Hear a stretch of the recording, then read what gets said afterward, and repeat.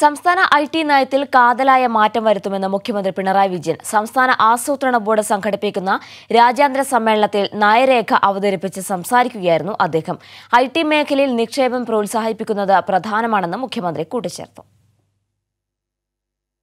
മാറിയ സാഹചര്യത്തിനനുസൃതമായി ആവശ്യകതകൾ നിറവേറ്റുന്നതിന് സംസ്ഥാനത്തിന്റെ ഐ ടി നയത്തിൽ കാതലായ മാറ്റം വരുത്തുമെന്ന് മുഖ്യമന്ത്രി പിണറായി വിജയൻ വ്യക്തമാക്കി. ഭാവി വീക്ഷണത്തോടെ കേരളം എന്ന പ്രമേയത്തിൽ സംസ്ഥാന ആസൂത്രണ ബോർഡ് സംഘടിപ്പിക്കുന്ന രാജ്യാന്തര സമ്മേളനത്തിന്റെ രണ്ടാം ദിനത്തിൽ ഐ ടി ചർച്ചയിൽ സംസ്ഥാനത്തിന്റെ നയരേഖ അവതരിപ്പിക്കുകയായിരുന്നു മുഖ്യമന്ത്രി. ഐ ടി മേഖലയിൽ നിക്ഷേപം പ്രോത്സാഹിപ്പിക്കുന്നത് പ്രധാനമാണ്.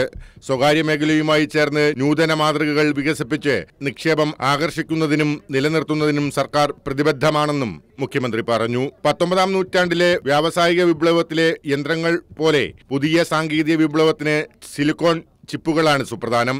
നിർഭാഗ്യവശാൽ നമ്മുടെ രാജ്യം നിലവിൽ ഐ ടി വിപ്ലവത്തിന് കരുത്തേകുന്ന സിലിക്കോൺ ചിപ്പുകളുടെ ഉൽപാദനത്തിൽ പിന്നിലാണെന്നും മുഖ്യമന്ത്രി ചൂണ്ടിക്കാട്ടി.